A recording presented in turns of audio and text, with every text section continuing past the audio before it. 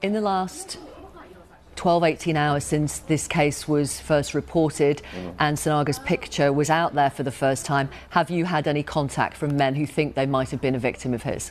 Yeah, very much so. So the, I know that uh, I was speaking to some of my colleagues over at the police incident room, uh, and that police incident room has had uh, both contact to the police and also to the support workers that are there. Do you, know, really... do you know how many calls?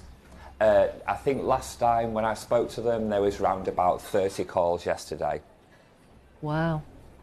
And the but police did say there, there will be men out there who, who they haven't been able to contact, they haven't been able to identify. Yeah. But it's, it's, it's not just those men that we can't identify. It's also this story. This is a story of the biggest rape case in British legal history.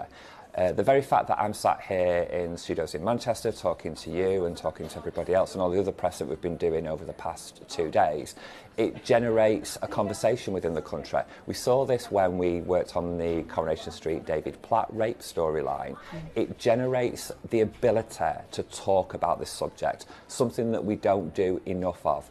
I know back in the office, back in my office, that there's people ringing up who are not directly affected by this particular case, but are people who have been sexually assaulted, maybe even in childhood, that are now feeling like the time is right to step forward and talk.